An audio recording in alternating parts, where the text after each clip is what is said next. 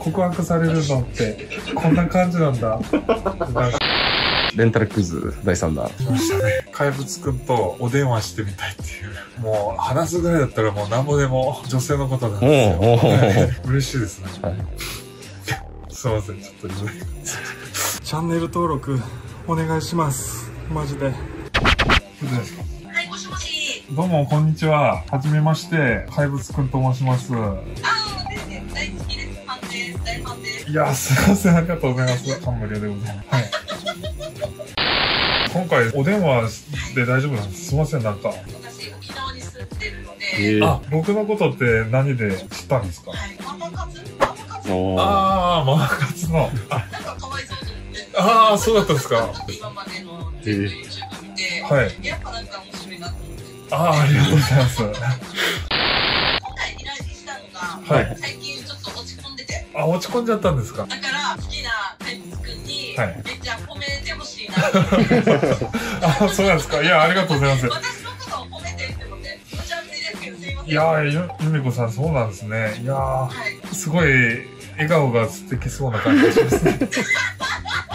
なんか今の電話してる感じで、なんか笑顔がすごいとても印象的だなと思って。実際に会ってみたらすごい満面の笑みで、太陽のような感じがしますね。あなんか瞳も綺麗そうな気がしますね。で、あと、料理が上手な感じがします。そうや。あ、おいくつ、あ、そえ、いいんですか？お年。いや、それ申し訳ないですよ。全然いいですよ。41です。えあーそうなんだえいや、僕20代後半かと思いました。そんなまあ。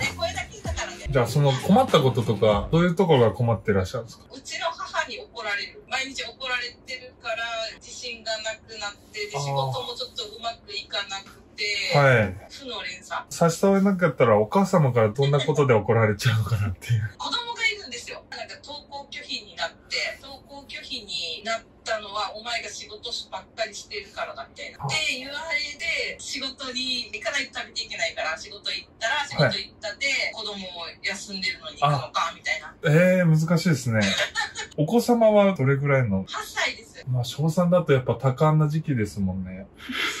まだじゃないですか。まだですか？もうちょいですね。あ、そう。で、また ADHD あ、もはい。あるので、はい勉強がやっぱり嫌いみたいで、あ、でも好きなこととかってあるんですか？歌、あ、歌、いいですね。8歳の時ってやっぱいろんなことを経験したいって年頃だと思うんですよね。なんか。どうでした？怪物くんは8歳の時って。8歳の頃は、僕水泳やってましたね。早かったんですか？あなんか1位取ったとか。あ、全然そういうのはなくて、いい運動にはなったなとは思うんですけど。はい。おっさんの感想じゃないですか。あそうだから息子さんにもなんかやっぱ一つ、これが面白いなっていうのを見つけてもらって、そうなんですよ。見つけてほしいですね。まあ歌、僕も歌大好きだったですね。カラオケは週1で行ってましたね。なんてカラオケって楽しいんだろうってください。なんか、はいはい。あじゃあ、愛しのエリ歌います、ちょっとあ。泣かしたこともある、冷たくしてもなお、寄り添う気持ちがあればいいのさ。ありがとうございます。元気になりました。え、元気になれたふみこさん、本当になんか、笑い方がすごい好きですね。サンゴの元気になってますよね。え元気になってます？よいやー、よかったなえマジで大好き。ドキドキしますよ、そんな。告白されるのって、こんな感じなんだ。なんか。じゃあすいません、ありがとうございました、本当に。いえいえ、こちらこそありがとうございました。本当に元気になりました。頑張ります。頑張れそうです。最高でした。大好きだなんてうん、単純に嬉しかったです、マジで。由美子さんからいただきました。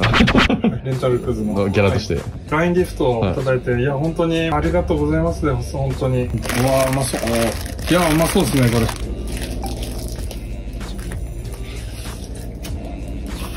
れ。もう、おいしい。本当においしい。うん最高。うまい、これ。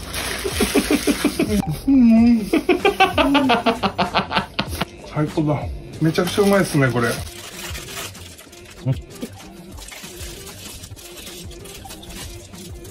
最高だチ。ャンネル登録お願いしますマジで